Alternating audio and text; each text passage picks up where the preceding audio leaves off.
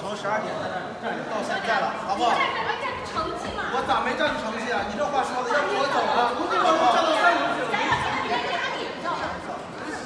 说个话能不能不要这么大声？哎呀，我去，啊。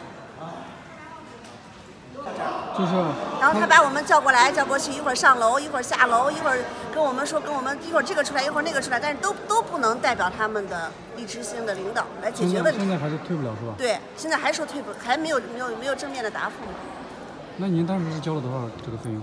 我当时交了七千一百多。也是金融服务费是吧？对。现在呢？现在政府已经发布新闻了，已经是可以退了，但是他们现在还是没有人负责人出来说给我们退这个费，还是不给退。那你怎么看待这个事儿？